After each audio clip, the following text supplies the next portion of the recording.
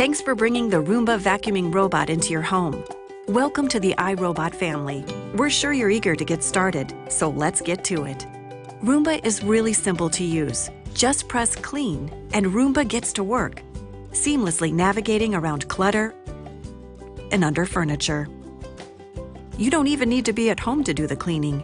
Your robot can be preset to vacuum up to seven times per week, meaning your home can stay clean every day. It's pretty tempting to watch Roomba do its thing, but you really don't have to. It has built-in software and sensors that help guide it safely around, so it can be trusted to clean on its own every day. It even steers clear of stairs and other drop-offs.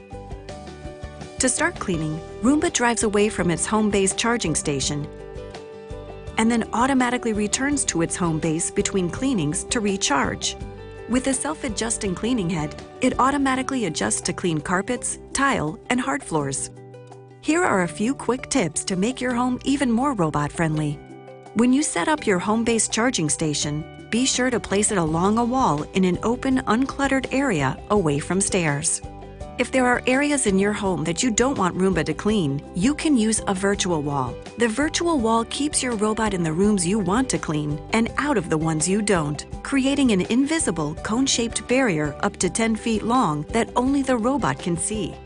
For homes with pets, the virtual wall can also be used in halo mode, creating a 24-inch circular protective zone around pet food and water bowls. Halo mode also works great for other objects that you don't want Roomba to approach.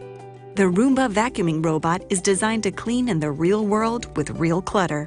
But to give Roomba a head start, please take a moment and see if there is anything in the robot's way that you could move for a better clean.